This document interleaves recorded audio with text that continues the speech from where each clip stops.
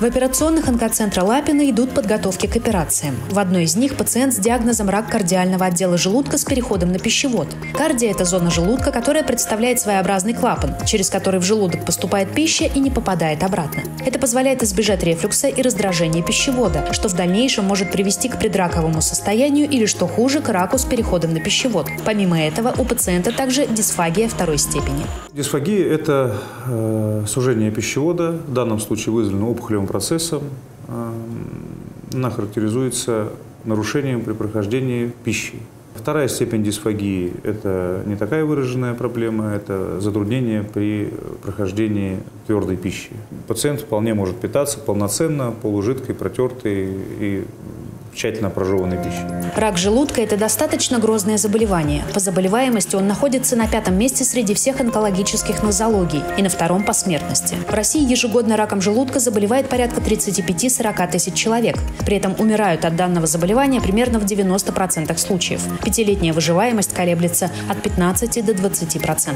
Единственная страна в мире, где с пятилетней выживаемость при раке желудка составляет 53%, самая высокая в мире – это Япония. И это все происходит по абсолютно объективным причинам.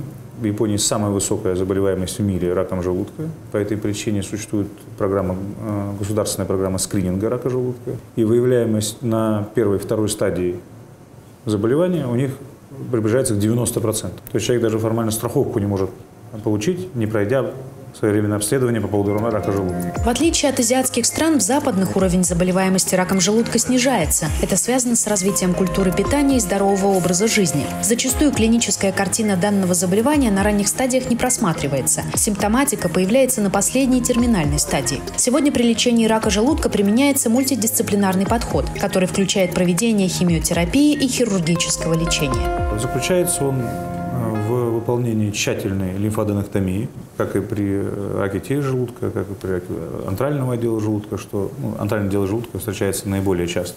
Э, выполняется лимфоденектомия по ходу ветвей чревного ствола, гепатодональной связки, э, ворот селезенки, выкраивается желудочный стебель, это из, э, все выполняется в животе, максимально мобилизуется грудной отдел пищевода из живота, после чего больной поворачивается на бок, или, опять же, в открытом варианте, как сегодня, потому что большая опухоль, подозрение на врастание соседней смежной структуры, или в торкоскопическом варианте выделяется пищевод, желудок перемещается в плевральную полость, удаляется пораженная часть желудка, проксимальная часть с малой кривизной, со всеми лимфоузлами и лимфоколлекторами регионарными.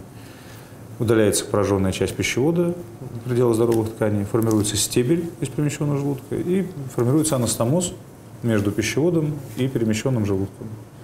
При этом выполняется лимфоденектомия по, по ходу пищевода, удаляется большой э, грудной лимфатический проток. То есть, в принципе, все лимфоколлекторы уносятся, и в пределах здоровых тканей формируется новое соустье. В дальнейшем пациент сможет нормально питаться, жить и внешне не отличаться от здоровых людей.